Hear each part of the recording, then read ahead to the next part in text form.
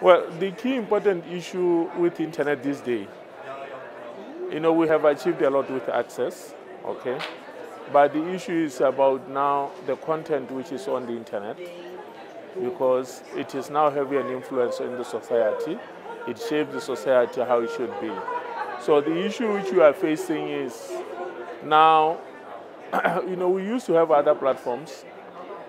For example, take the broadcasting network which was basically having the content, and the content was being regulated. For good, the internet content is not being regulated, which I do agree should not be regulated. But the issue is it does have an impact in the society and it does have how people live.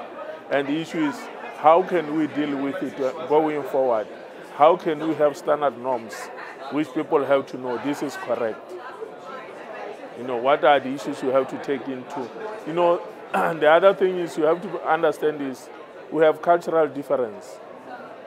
What may be acceptable in my culture, it may not be acceptable in another culture.